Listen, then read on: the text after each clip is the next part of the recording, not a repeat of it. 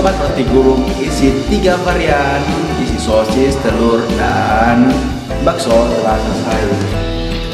wow uh, dan jadi yang suka video kali ini jangan lupa di like, comment, dan subscribe. Sampai ketemu di video selanjutnya. Bye bye.